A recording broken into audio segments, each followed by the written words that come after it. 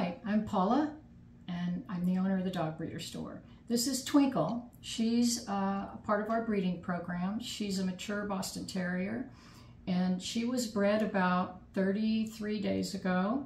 She ovulated about 35 days ago, and we've just determined that she is pregnant based on our at-home pregnancy test that we sell in the Dog Breeder Store. This does not require a blood draw or a trip to the vet, but we did determine based on a tiny drop of blood that we got from her lip that she is pregnant. But in case you don't have this test, I do want to show you, give you some ideas about how you can tell if your dog is pregnant or not. Because back in the day, we didn't have these tests, and so we had to use our senses. So one of the things that you would know about this dog if you lived with her is that her nipples are enlarged. And even though she doesn't really show other signs of being pregnant, her loin is still as small as it was before.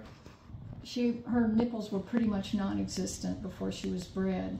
The other thing that we always look for as breeders is we would look to see if their vulva, which is this little spot here in the back right here, was remaining enlarged after they were bred.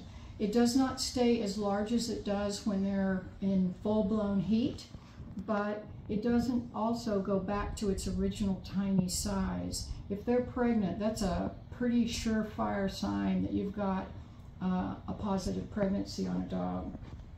Um, another thing that I noticed with her is that she uh, was off her food. The first three weeks or so, she was uh, very tired because the the babies are uh, the embryos are developing but they're not implanted yet. And they're putting a lot of energy into making that happen. And they can get morning sick just like a person does. So you may see them being nauseated. Um, this dog is not particularly clingy but she's been very clingy since she was bred. And so again that's another sign that she may be pregnant.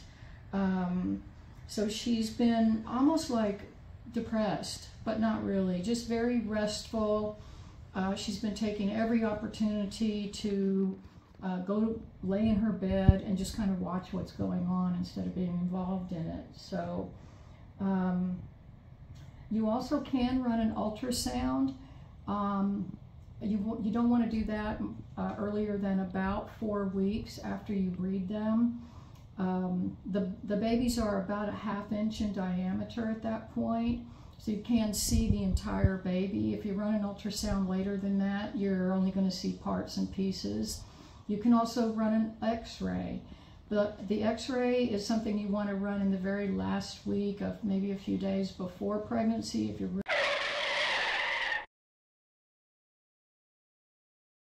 really trying to look at head size, versus um, pelvis and see if the dog is going to be capable of free whelping um, or to try to get a count. Honestly, in 50 years of doing this, I've rarely ever seen a, an accurate count on an ultrasound or an x-ray because there's just so many variables involved.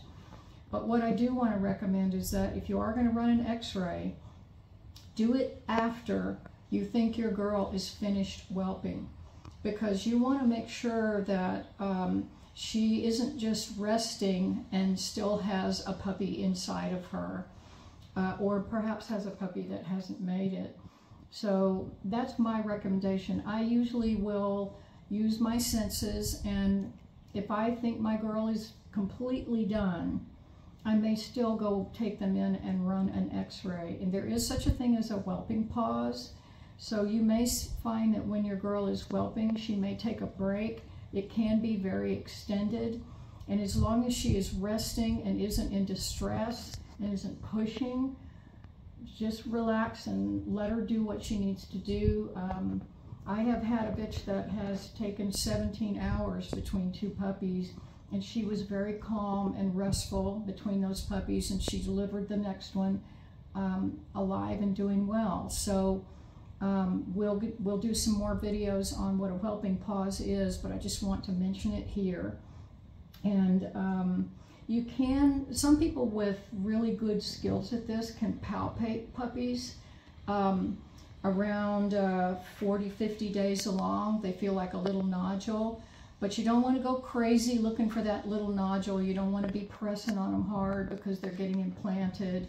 And, um, you know, just use your senses. And if you're not sure, you can buy this uh, pregnancy test from us at the dog breeder store and you'll be able to tell within about 10 minutes as long as your bitch has um, is at least 28 days past ovulation um, you'll be able to tell whether or not she's pregnant so we are expecting puppies here and we know that because of the pregnancy test and because of all the signs that I just gave to you so good luck with your puppies and make sure and look for more videos and educational articles at the Dog Breeder Store.